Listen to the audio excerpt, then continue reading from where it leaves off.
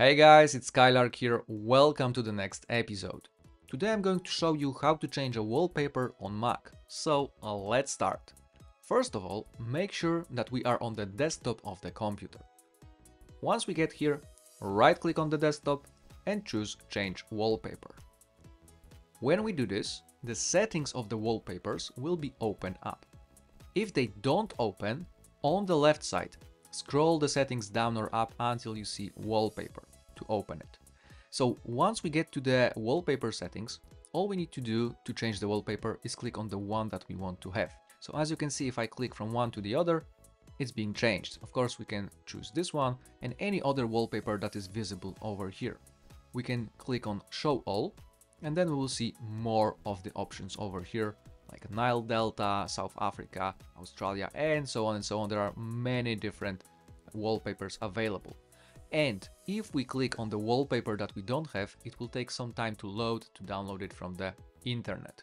So if you click on one of the wallpapers available here and it takes some time, just be patient and uh, it will be loaded once it downloads.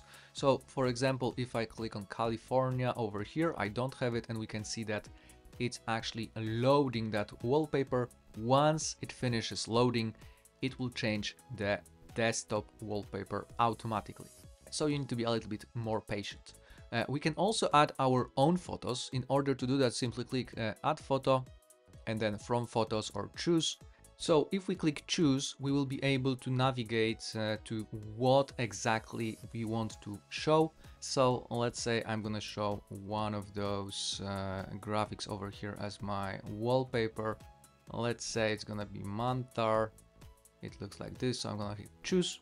And as you can see, my wallpaper was already changed to Mantar. So this is how you can add your own photo. It will show up over here. Or you can also add the whole folder of photos and then they can be changed automatically every day or every minute or, or every month, depending on what you're going to set up.